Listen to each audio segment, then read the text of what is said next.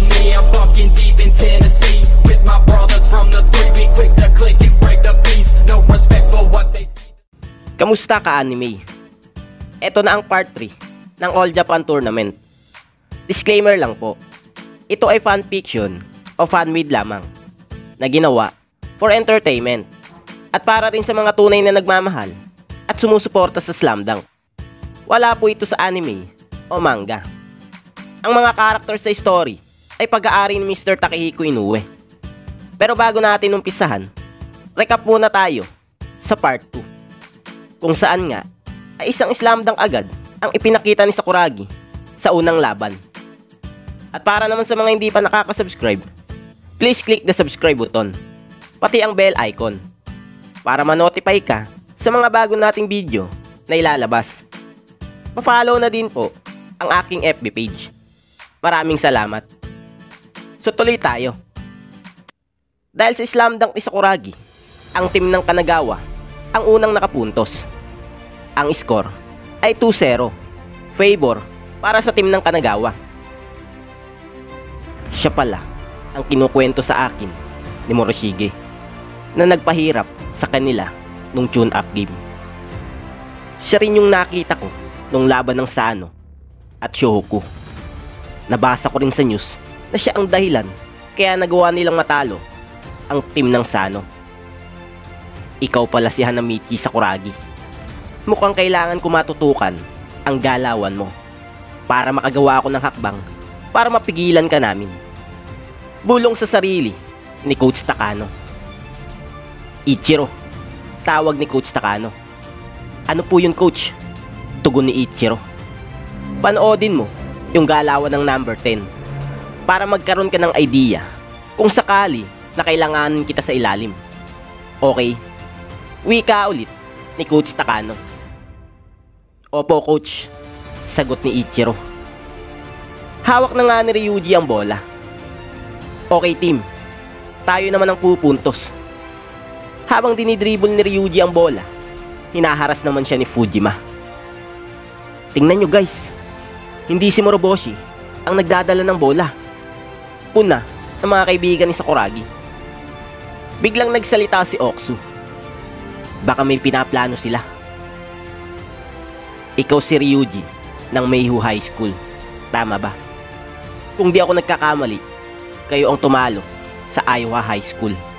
Tanong ni Fujima sa harap ni Ryuji. Tama ka sa sinabi mo. Pero di na kami magkalaban ngayon. Magkakampi na kami. At gagawin namin ang lahat para ang distrito namin ang maging number one sa buong Japan. Sagot ni Ryuji. Bakit hindi si Kalbong Bakulaw ang humarap sa akin? Bakit itong payat pa? Masyado ata nilang minamaliit ang henyo sa basketball.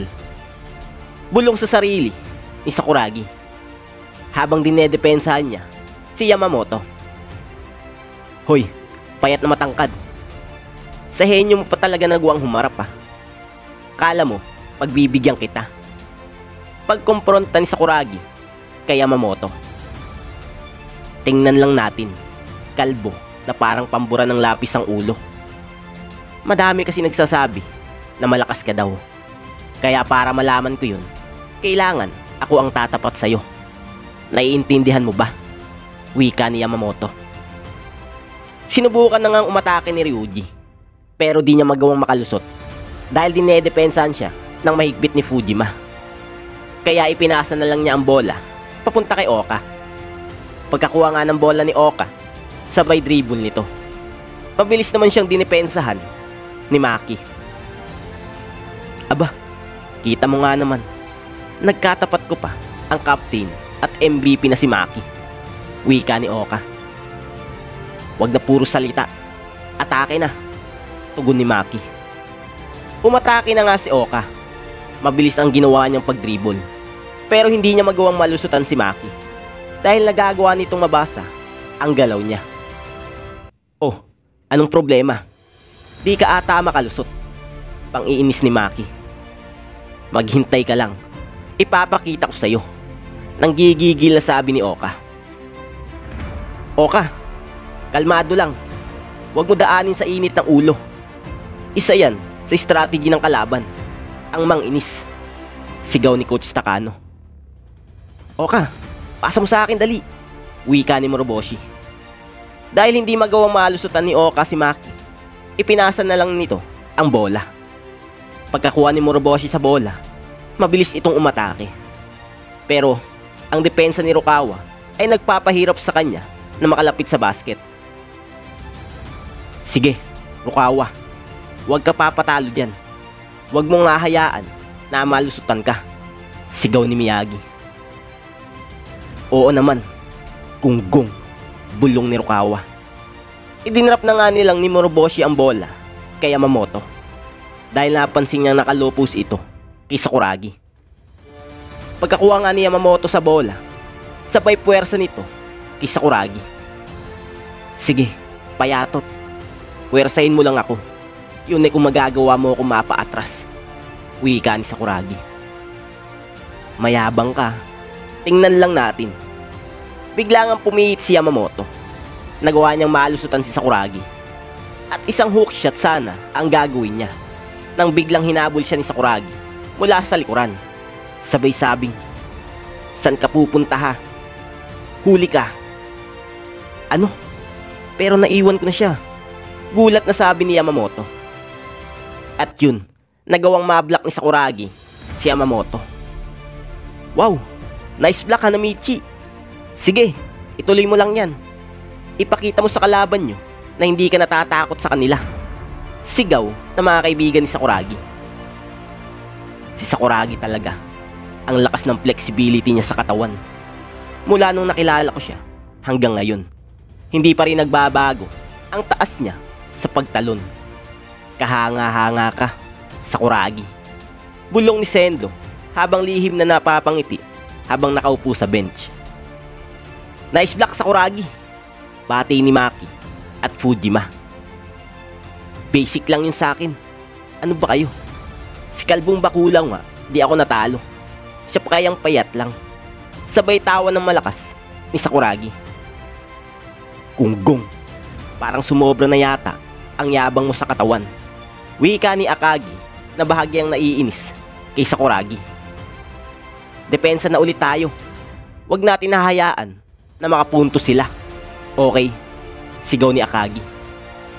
Oo, sagot naman na mga kasamahan niya. Dahil sa block ni Sakuragi, mapupunta pa rin ang bola para sa panig ng IG. Hawak na nga ulit ito ni Ryuji. At mabilis nga niyang dinidribble ang bola, sabay pasa kay Oka. Pagkakuha ni Oka sa bola, sabay step back nito. Yun nga lang, nagawa siyang mahabol ni Maki at naabot ng daliri niya ang bola. Sasablayan, sigaw ni Maki. Sige, tanda, ako na bahala sa rebound. Wika ni Sakuragi.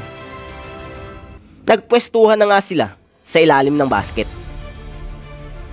Ako ang makakakuha ng rebound, sigaw ni Sakuragi. Nagtalo na na nga sila nang biglang pinalo up dunk ni Moroshige ang bola. Ha? Ano? Ang kalbong bakulaw na to. Nataasan niya pa ang talon ko. Gulat na sabi ni Sakuragi. Dahil sa ginawang follow-up dunk ni Moroshige, all to na ang score. Nice, Moroshige. Ang galing nun ah. Bati ni Ryuji at Yamamoto. Sabay tingin naman ni Moroshige kay Sakuragi. At gumiti ito na parang nang aasar. Mayabang kang kalbong bakulaw. Inis na sabi ni Sakuragi. Nagpakitang gilas na nga ang magkabilang team. At tabla na ang kanilang score. Sino kaya ang mananalo? Abangan natin yan sa mas gumagandang laban. Muli, maraming salamat. This is Phantom Man and sign out. Bye-bye.